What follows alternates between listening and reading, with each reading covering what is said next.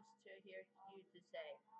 So basically, this one, Roblox is down. I thought I just got mad, and I was having problems playing Roblox. So Roblox went down.